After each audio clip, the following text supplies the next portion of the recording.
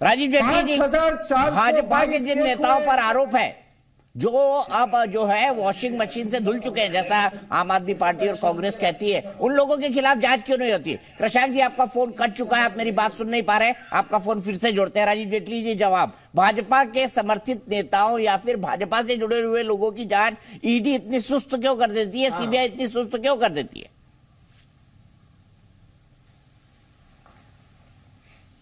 राजीव जी ये आपसे सवाल है। आप सुन पा रहे फिर कट गया। मुझे लगता है राजीव जी मुझे सुन नहीं पा रहे। सीधे ओनिका जी के पास चलते हैं और वाजपेयी जी के पास चलेंगे। ओनिका जी मेरा सीधा सवाल आपसे है। क्या मनीष सिसोदिया को गिरफ़्तार करके सीबीआई ने ठीक किया? और ईडी ने? सर आपने सर, पंद्रह मिनट आपने बीजेपी, भारतीय जनता पार्टी और आपको स्क्रीन में दिखाया, साथ में तेलंगाना के भी दिखा दिया। बहुत थैंक यू आपका। बिकॉज़ जनता ने पंद्रह मिनट देखा है इनका चाल चरित्र चेहरा। कैरेक्टर जो है इनका, वो बिल्कुल सामने आ गया है।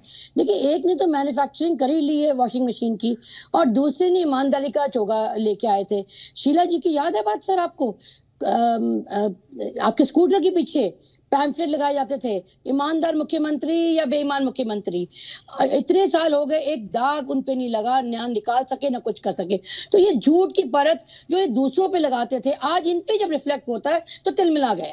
अब इनको बैरिकेडिंग बदलना है, या दूसरे बैरिकेड में डालना है, हत्या की साजिश, ये तमाम वो आरोप निकलेंगे। और ये यही चलते रहेंगे सर बिकॉज़ इनका प्लान ऑफ़ एक्शन यही है। इनको ये लगता है सर दीपक जी कि ये नैरेटिव लेके जो चले थे दो बार तो ये बीजेपी वाले जीत चुके हैं और ये पंजाब में भी इसी माहौल बना के जीत चुके हैं।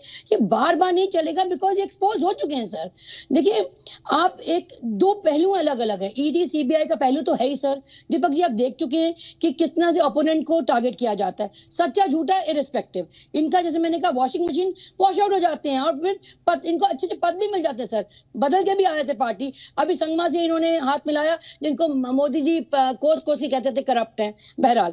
आप आप आदमी की बात करें, सर तो ये फ्लॉज तो थे ही।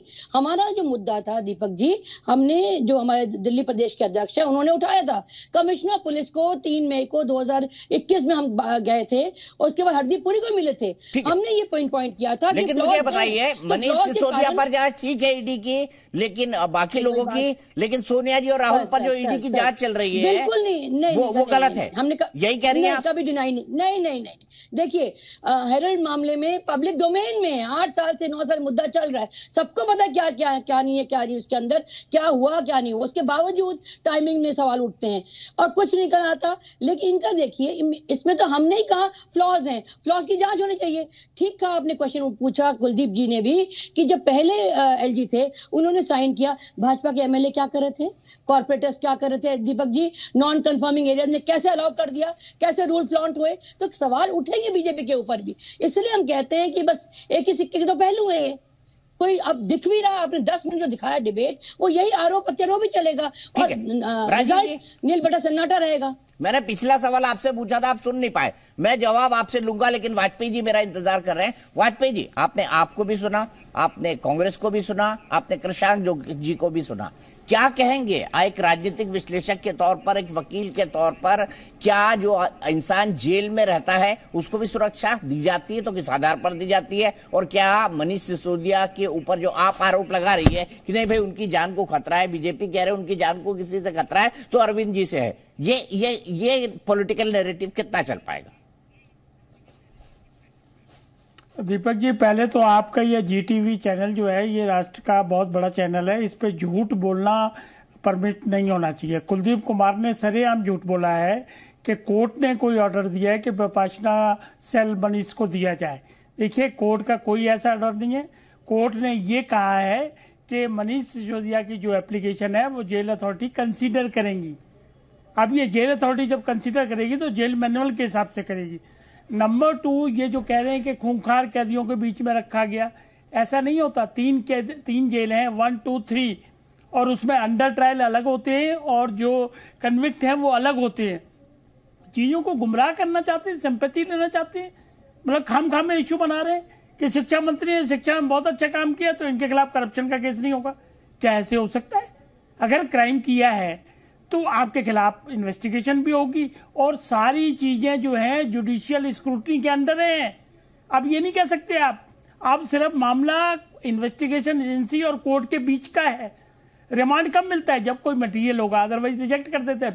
लो रिमांड जैसी कब भेजते हैं, जब आपके खिलाफ सबूत बने हुए एक अप्रूवर की स्टेटमेंट है, सरकारी गवाह बना हुआ बकायदा है। एक के बयान है।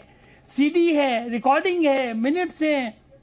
और ये कह रहे थे कि पॉलिसी एलजी साहब ने अप्रूवल की है। उसका जवाब आपको मालूम है, कुलदीप कुमार जी?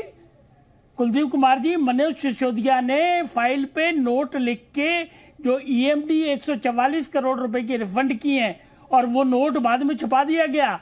उसी के लिए ढूंढा मची हुई है कि कंप्यूटर में कहा गया वो नोट? वो फ़ाइल कहाँ गई? अब वो रिकवर हो गया है। किसने की थी इतने पुख्ता सबूत होने के बाद किसने किया था अप्रूवल आप बता दीजिए। चलिए। भाजपा नहीं बता पा रही भाजपा की बी टीम बता दे किसने किया था अप्रूवल आप बता दीजिए। अरे दिनेश दिनेश अरोड़ा अप्रूवर बनाया उसके बयान पढ़ लीजिए जरा आपको अगर पढ़ने को मिल जाए कहीं से तो। अरे वो बता के गया आपको तो आप बता दीजिए ना किन्ने अप्रूवल किया था। दिनेश अरोड़ा बता तो दिया होगा आपको।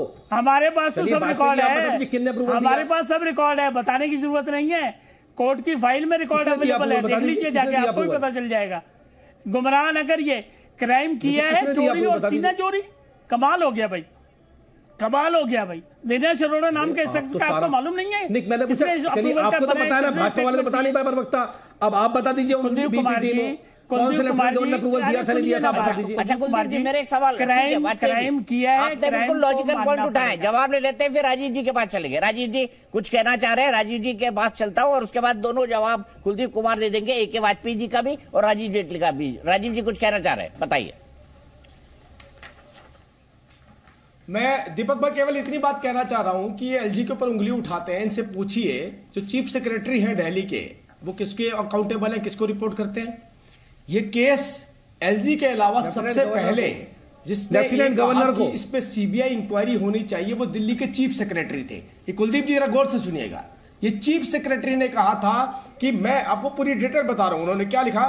कि प्राइमा फेसिया लगता है कि GNCTD act 1991 transaction of business rule T O B R nineteen Delhi excise act 2009 and Delhi excise rule 2010 क्या वो पूरी तरह से वायलेट किया गया है? ये हमने नहीं कहा। ये दिल्ली के चीफ सेक्रेटरी ने कहा है। दिल्ली के चीफ सेक्रेटरी किसको रिपोर्ट करते हैं? अरविंद केजरीवाल को। तो अरविंद केजरीवाल जी को जो सबसे पहला जो खुलासा जो था भ्रष्टाचार का, अगर वो किया तो दिल्ली सरकार ने ही कर डाला। अरे कब तक भागेंगे आप? कब तक कहेंगे एलजी? एक आईएएस ऑफिसर जो दिल्ली गवर्नमेंट का है, उसने कहा, अरविंद केजरीवाल चोरी कर रहे हैं। मनीष सिसोदिया कमीशन खा रहे हैं। अरविंद केजरीवाल मनीष सिसोदिया के माध्यम से छह प्रतिशत कमीशन लेते हैं। ये तो विस्तार में बाद में हमें पता चला। लेकिन पहले पॉलिसी को कैसे तोड़ा मरोड़ा गया, पॉलिसी को कैसे मिसयूज किया गया, उसका खुलासा तो आपकी सरकार ने ही कर डाला।